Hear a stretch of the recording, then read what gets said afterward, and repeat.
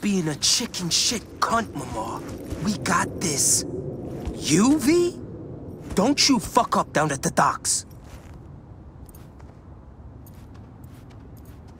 Stubborn ass. Remember, Daniels? I'm Supposed to help you with this gig. What was that all about? One of his men dropped out. After weeks of prep. And me, I'm thinking that's a problem that could bite us in the ass. Daniels disagrees. Uh, anyways, you remember the guy, right?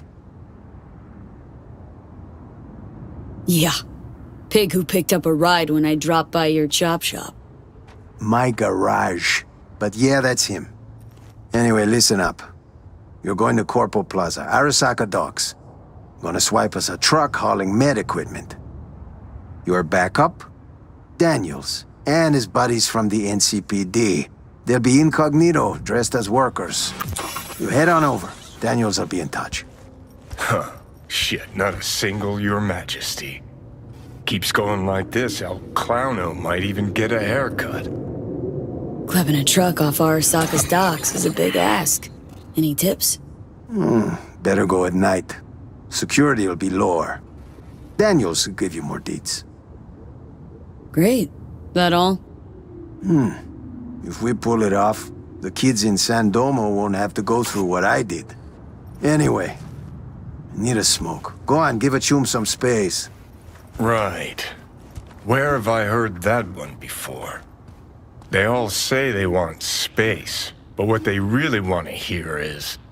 Muamar, is everything okay? I gotta be your fucking empathy coach now, too? Chum clearly wants to talk about it, just can't say so.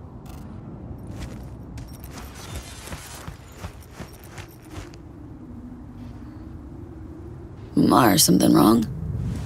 Acting weirdly, uh, composed.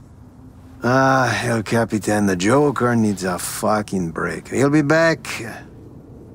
You know I grew up here. Me and Daniels. Santo fucking Domingo. You know what we were most scared of as kids? Gangs? A stray bullet? Yeah, those too, but no. Talking a, a different, everyday fear. Biggest fear was a glass of water.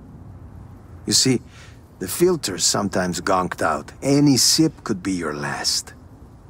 Talking cancer, arthritis, kids with the joints of 70-year-olds. All in a fucking glass of water. In these homes, every damn day, years on end. Shit. This is Sokka's doing. Gotta be. Arasaka Factory's been pumping poison into the groundwater here since 2061. Of course, we didn't know how bad it was for a good long while. As I fucking thought. Shit. How bad was it? was. Still is.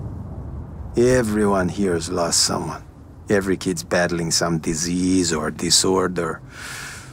Guessing me and Daniels won't live to a ripe old age either. So this med equipment, it's gonna help the sick, right? Should ease some of their suffering, yeah. But the most important thing is peeps will see someone still gives half a shit.